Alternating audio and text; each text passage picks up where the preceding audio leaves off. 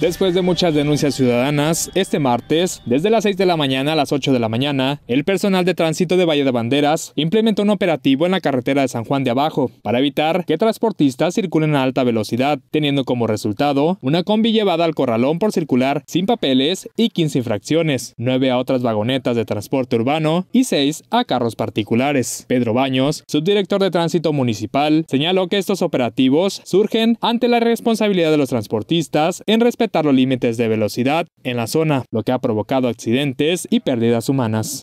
Eh, no detecté ningún vehículo a más de 80 kilómetros, ya que me puse adelantito de donde están los arcos, ahí apenas van agarrando velocidad, pero, pero yo creo que sí es cierto lo que tú comentas, llegan a, a correr hasta 100 kilómetros por hora, no me cabe duda, y, y lo que sí pues estaré eh, seguiré haciendo los operativos. Aquí la intención no es estarlos infraccionando, ni mucho menos.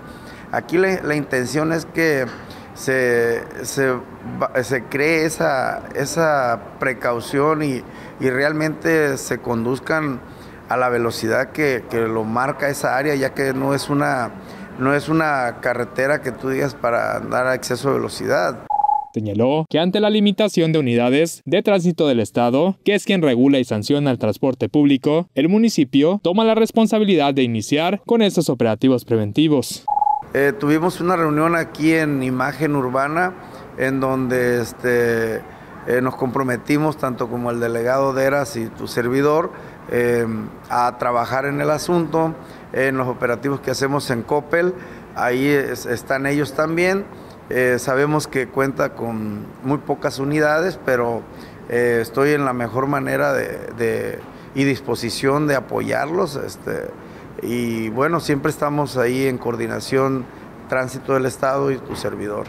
Añadió que los operativos seguirán en el municipio con miras a poner un alto al transporte público, además de que la presencia de la autoridad en las calles es muy importante. Con imágenes de Itzia Rodríguez y Andrés Vázquez, CPS Noticias, Israel Torres.